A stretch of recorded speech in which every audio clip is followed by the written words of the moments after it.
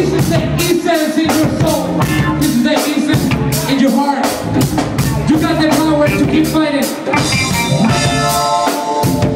Vibration all the time, all the way to the